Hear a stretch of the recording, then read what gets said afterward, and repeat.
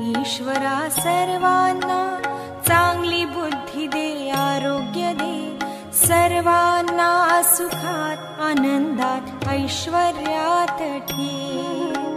सर्वांच भल कर कल्याण कर रक्षण कर. आणि तुझे गोड नाम मुखात खंड राहू.